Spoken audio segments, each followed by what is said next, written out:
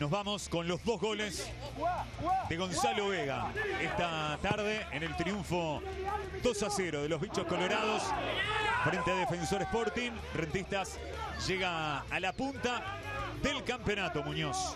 Acá está la jugada, decíamos, de la polémica. El que se agacha está en posición adelantada. Finita estaba en posición adelantada porque se concentró el golero, ya lo dijimos anteriormente, ¿no? A poner 1 a 0. De esa manera Vega, poco le importa a Vega que remata muy bien, hace el enganche hacia adentro y remata muy bien.